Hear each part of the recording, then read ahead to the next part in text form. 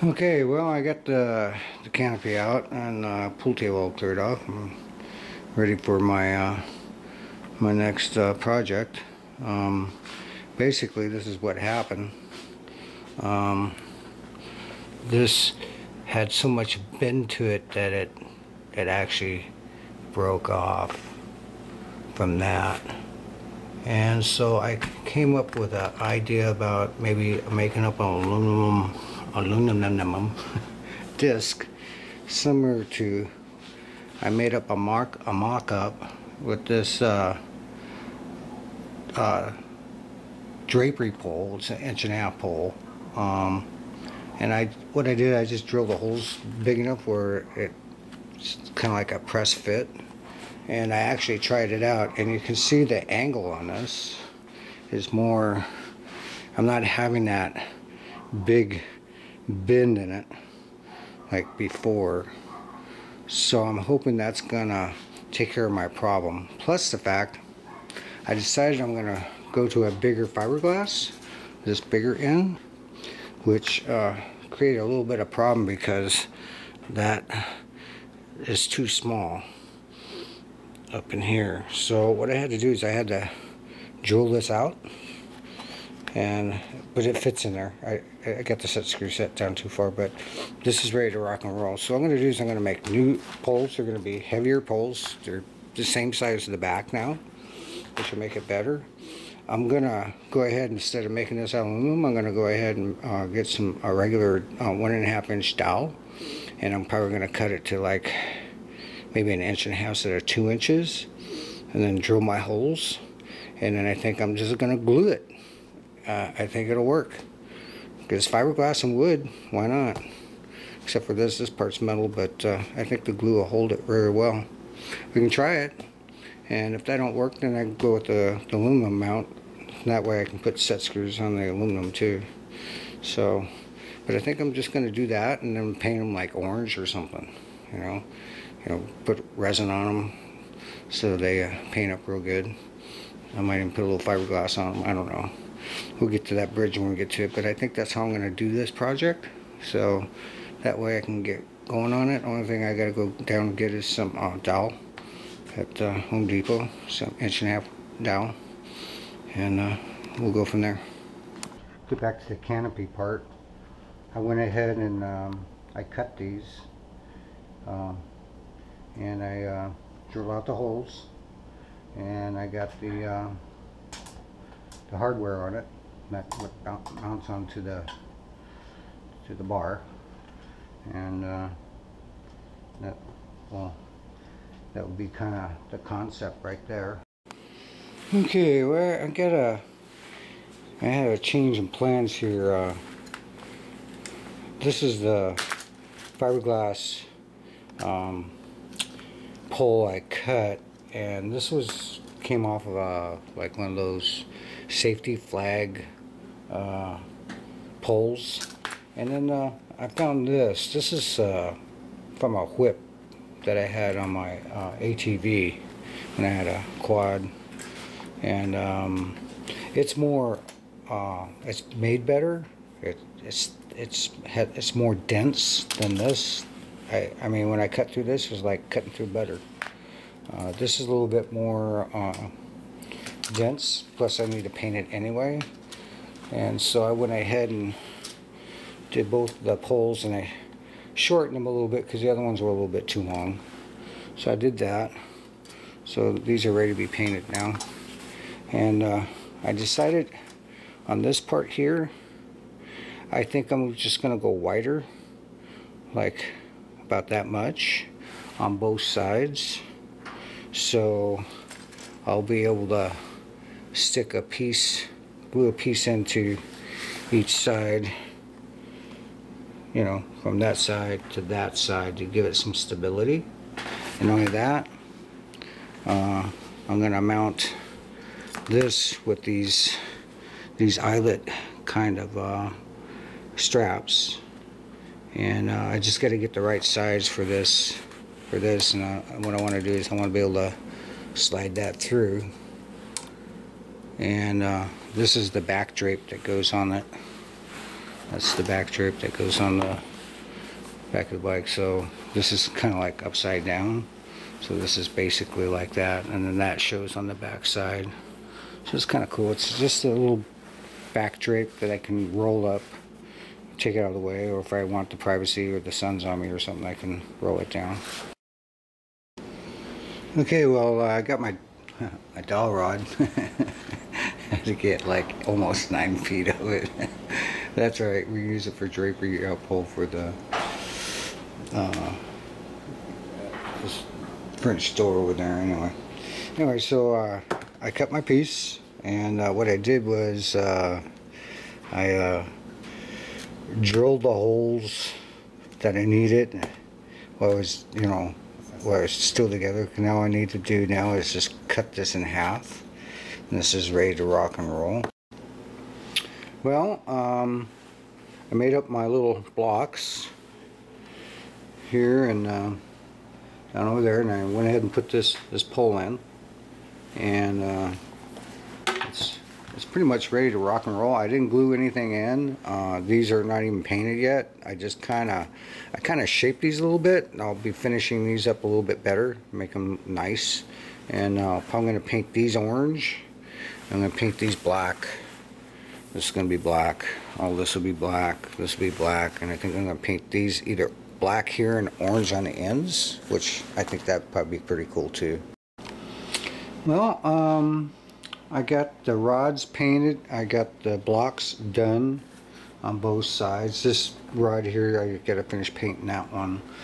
But um, these are pretty dry. Uh, both the both the blocks are dry. This is fairly dry. These rods are still a little bit tacky. Um, so what I think I'm going to do is I'm just going to go ahead and and uh, glue this all up this this rod this the way it is I, I got to get a mallet and mallet it on but uh, glue it all up except for these two rods uh, I'm going to leave those rods um, I'm going to take them out because they're going to have to be cut anyway so I just want to get this all glued up and then I'll just uh, finish painting this all up while it's on here. But it's it's getting there. It's looking pretty good. I think once I get the orange on the ends that I want to do, it's going to look really cool. Well, um, the uh, this part's all glued up it's all painted. I just put these poles in. These are the going to be the front poles. I just put these in so I can check the alignment and make sure that these are lining up fairly well. Not too bad. And uh, I just want to point out something. What I did here is, uh, you see that's pretty center. You look at this side and it's a little off center. Uh, the reason why I did that, I made them a little off center is because I want it uh, to act like a, like a sway bar or torsion bar just to help with the, the wiggling, to make it more sturdy. Uh, hopefully it's not going to make the, the canopy all cockeyed and stuff. So we'll find out when this dries. It's still a little tacky. So I'll probably be uh, uh, test fitting that here and probably tomorrow. Okay, let's kind of give you the, the top view. It looks on the top. So that's kind of what it's going to look like. Yeah, it doesn't look too bad, you know. Looks pretty decent. Um, I ran out of paint, so it does need another uh, coat of paint. I need to go over it with this. Uh, what is it? I got some 600, so I got to go over it with some 600 and then paint it again. I think I went over the last one. I went over with the 220. That's what it was. So I'm just going to go down to 600 or 400. I, I got 600, so I'm just going to use 600. Anyway, and uh, it's real easy to tape off. So, so I can tape it off and repaint it. You know, take it off the bike, of course, and paint it. So, yeah, put some more. And then I need to get some orange paint. But uh, it's it's getting there, little by little. Already, uh, we're ready to test fit this thing. So what I've done is I uh, put myself up a couple of uh, holes here to set the top on while I set, set the back in. So hopefully it's just going to be as simple as picking this up. This is how I generally install it and take it off. Guide these bars down behind these seat right here and then let it rest just like that. And then uh, we'll start putting the back together. Uh, got those mixed up a little bit. Okay let's go ahead and take this screw out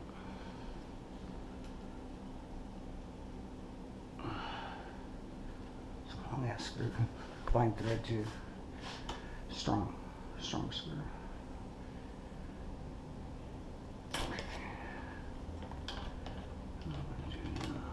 Yeah, that went right through, no problem. And that screws in. I'll take some of the, I want to get across threaded soon.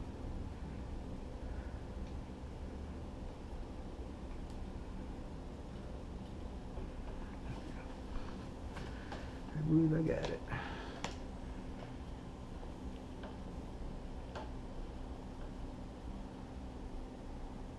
Okay, snug. Okay, moving on to uh, the next step, the front rod. Okay, uh, let's see. This is the one I got ready.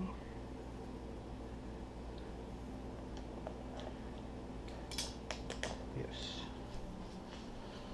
Okay. Now there's no real particular way. You can either go that way or that way. I like going this way. Uh, I don't mind going this way. I'm thinking about how to get a screwdriver in there. I can always move that and get in there that way. So I prefer them this way. They look better. So I'm going to go ahead and get get that. I don't want to pinch that. That's my it's my air horn. Okay, so I got that kind of where I want it. Sorta. Just want to line it up. There's that hole. Okay, and you can see this is obviously way too long. Unless I want to run that all the way down like that. And then even then it's it might be all right once I push it down, but I'd rather just cut it. That's way too long. That's way too high. I like the, the chop look. So I'm thinking, you know, just kind of eyeball this and you cut one, you measure it and cut that one to match. I think that looks good. That's about where it was before. So I predicted about six inches, and that's what it looks like it's going to be about. I'm just going to hold on to that right there. And slide this off.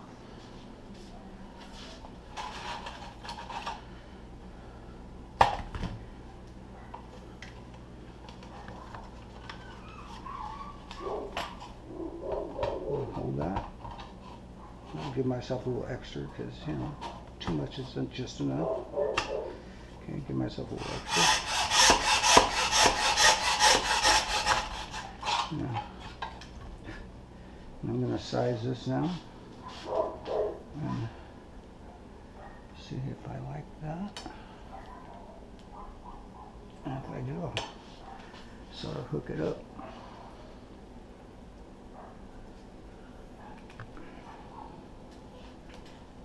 Oop. Lost some of the rubber. That's okay. It was pretty tight. But so I'm gonna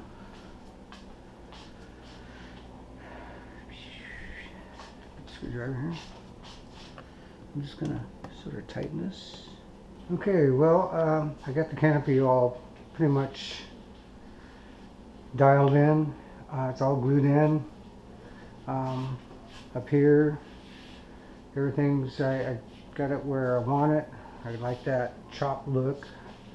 Um, you can see it's it's a lot more sturdier than it was because it used to really flim. I mean, I did that and it's shake for quite a long, long while. But you can see actually the bar on the bar on the bike, the bike actually rocks. So that's pretty rock solid, and I think it's going to work out just fine.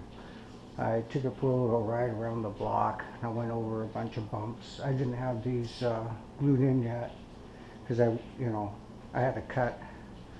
I cut off close to eight inches. This was my first cut, and I wasn't happy, and I cut another two and a half off of it just to kind of give it a chop look. And uh, anyway, that's that's it. That's that looks good. And uh, it's even in the front, even in the back, even on the sides. Uh, this torsion bar idea I had worked out great. Uh, or sway bar worked out great. So, so it has actually two bars. It has one here and one here. There's two of them there. So it really helps. All right, that project is done. I just need to shampoo the top. All right, well, I got the uh, canopies all finished. Uh, what I did is I, um, on the front, right here, I put on this uh, valance. And the purpose of this is to help keep the sun out of my eyes. Because you remember my uh, design here? So what I did is I just took some, um, this is vinyl, and I just uh, folded it in half and glued it together. It's 10 and a half inches wide. So basically what it does is it gives me a two and a half inch drop, which is perfect for my eyes, for the horizon. Let me sit in it, you know. This would be my eye level, right here. And then if I the sun gets my eyes a little bit, I can tip my head up a little bit, like that, and keep, keep the sun on my eyes. It's perfect. And like I said, if it gets where the sun's like right dead in my eyes, and I can drop this down another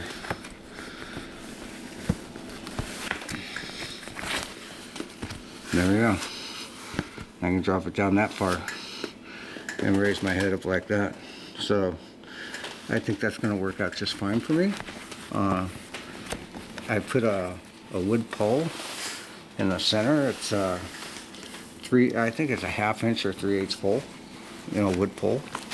And it's glued in there so it won't come out. And then I just uh, uh, cemented it all up in here. It sticks real good so that's, that's not going to come off. So that's parts done. That's something I've been wanting to do well actually it's something that came up because I didn't want to lower this any lower than what it is in the front. And I had that big gap there and I figured why not cover it up? So it worked out fine. That worked out fine. And the other thing is the the back drape is all on. I used to do a lot of drapery work and uh, upholstery work and for the studios. So I feel comfortable about doing this kind of stuff. It doesn't really bother me that much.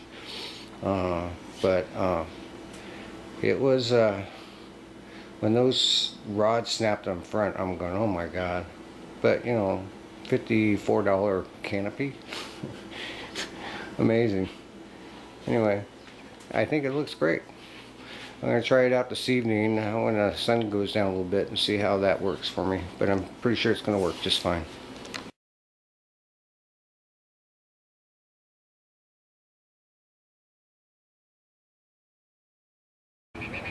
Yeah, stupid dog next door. Anyway, uh, I thought I'd give you an update um, on my quadri quadricycle, um, on the visor. I uh, put this uh, this orange fabric in here because uh, you know how uh, a dashboard you know glares off the window and you get well I was getting glare off that really bad so uh, I came up with that and I just put some bead on there just to to hold it. And uh, yeah it's a lot better than what it was. So now I don't get that glare. Because I went out there whoa. Uh, another thing I did is uh, my uh, spinner uh, I fixed it. It's working real good. Uh, the only thing is I used to have it up here and it just kept slipping off. It, no matter how much I shimmed this up and how tight I got that, it just kept slipping off. And no, I didn't like it there. Um, I put it on the inside here, so that way when I come down, I, you know, it, it doesn't bother with my knees. Because if it was on this side, it might bother with my knees. So uh, being on the inside is a lot better than being over on this side. So that worked out really good, and you can see that works real good. And then uh, I operate the handbrake with my uh, right hand, and I steer it with my left. And being a butterfly, it's real easy to to turn it. So that's something new I did, and uh, I sort of got the back drape kind of all set in the back. Uh, right now, I just got it up here with clamps, so it's all removable. I just uh, take off the clamps. This one's kind of dedicated to hold the bottom. And uh, that's how it comes off. And I just hang this in the garage or I can roll it up and stick it in here. That's temporary anyway. I don't use it that often, but it's nice to have it, you know, if you need it. Um, so that's how that works. And put these in the, my little backpack here. Don't lose those. But eventually I will uh, get those on the things there. Um, I think that's about it, other than the lights. I already showed you the lights before. Uh, that's pretty much, oh yeah, there is one other thing. Um, my seat cushion, or my back cushion. Um, this is a, a two inch memory foam. And how this works, these have straps right here and here and here and all the way down at the bottom down here. And that's how you tighten up the uh, the back, you know, for your, well, during the winter time, it gets really cold. So uh, I put this on and uh, all I did is I just glued the edges. There's no glue on the front or on the back. So, so that way I don't have any contact with the glue. So I just glued it on the edges and on the bottom edge and on that edge over there. So it's removable. You just uh, undo the straps, pull it out. So during the summertime, I'll probably just take it out, keep my back cool. But during the wintertime, it's nice and it helps with the back too, because sometimes uh, you can hit on these bars, especially over on the, or on the side over here, it hurts. So, uh, so that's something I added. Um, I think that's it.